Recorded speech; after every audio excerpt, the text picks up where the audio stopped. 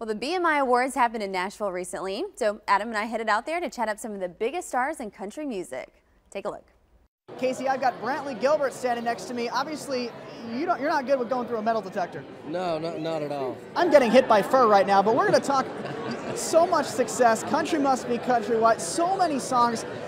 U.S. Gold. That's got to feel amazing. It feels awesome, man. I'm just glad to be here. Everything's happened real fast this year, and we're just still rolling right along. This is isn't it? It is. Yeah, How much fun is this doing this with your girlfriends? It's awesome. We we have a big slumber party everywhere we go. Everyone knows your song Hell on Heels. I got to be honest though, this song makes me want to go find a gold digger.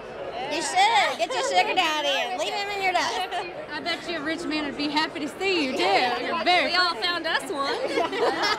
Yeah, there's a lot of people on this carpet tonight, but there's not many that, that could kiss me like that. Ju- Justin Moore, now I'm speechless. I don't know what to say. It's good to see you. What are you doing tonight after the show? I'm just kidding. and are you jealous right now? very, very jealous. He is the cutest thing I've ever seen.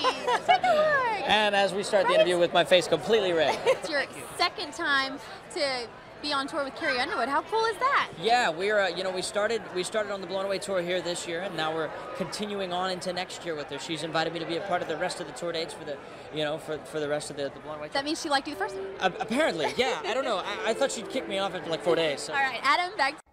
She definitely didn't kick him off. In fact, Carrie invited him back on the road with her for the second leg of his tour. So best of luck to Hunter Hayes.